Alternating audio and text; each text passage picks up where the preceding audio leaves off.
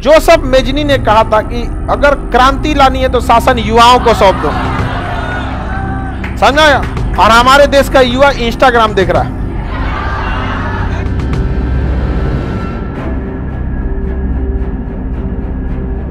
चौदह फरवरी 2019 black day मनाया गया।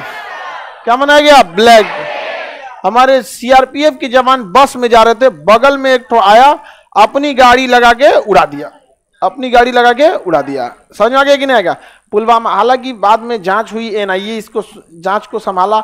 बहुत मुश्किल से उसका लिंक मिला। धीरे धीरे मिलते मिलते पकड़े गए सब ज़्यादातर। तो जो इंडिया में थे, पकड़े गए। जो पाकिस्तान में थे, वो मारे जाएँगे। ठीक है? और हम लोग के यहाँ बहुत, उस, बहुत खराब स्थिति आ गई थी। उसी के बाद तो हम लोगों ने उरी में जाके क्या कर दिया? Surgical strike. ये सारी चीज़ें ऊपर ऊपर किए जब भी पाकिस्तान कुछ करे, कुछ भी करे, कुछ नहीं करना है। ज़रूरत नहीं तुमको तो सर्जिकल स्ट्राइक वगैरह ये सब तो छोटा मोटा इलाज है। इसका बीमारी पुराना है।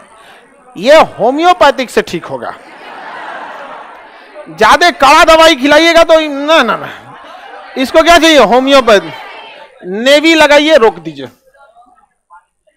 नेवी लगाइए, रोक दीजिए।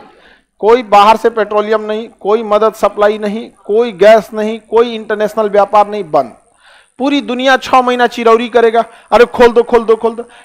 चाइना से क्या बात करते हैं? आपके गाँव का एगो चौराहा बंद कर दिया जाएगा आपकी गाँव की अर्थव्यवस्था खराब हो जाएगी।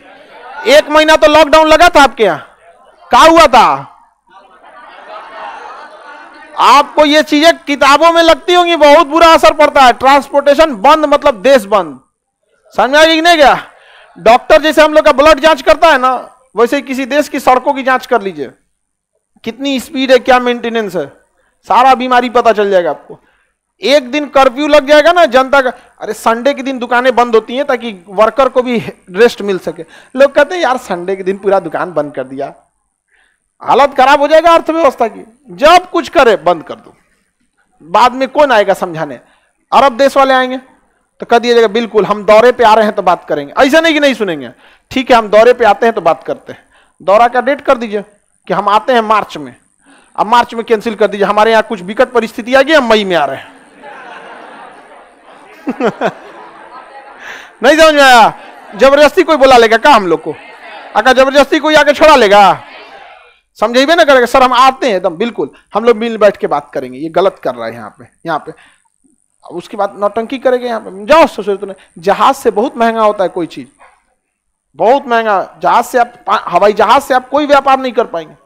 पानी वाली जहाज़ से ही आप बड़े बड़े कंटेनर्स में कुछ भी मंगा सकते उससे तो कुछ नहीं आने वाला। हाँ? ये सब कब होगा? जोसफ मेजनी ने कहा था कि अगर क्रांति लानी है तो शासन युवाओं को सौंप दो। समझा और हमारे देश का युवा इंस्टाग्राम देख रहा है।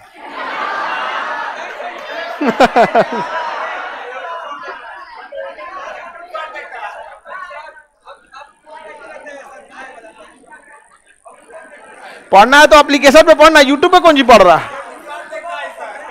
हम लोग कभी भी यूट्यूब पे कंप्लीट क्लास नहीं लिए, क्यों? पता था हमको कि भाई, यहाँ आके डिस्ट्रैक्ट हो जाएगा। देखेगा, तुरंत डिस्ट्रैक्ट हो जाएगा।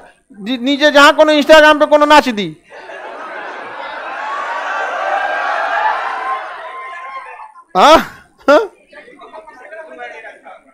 हल्ला नहीं करो। इंस्टाग्राम होता कौन चीज़ अपना समझे में नहीं आता।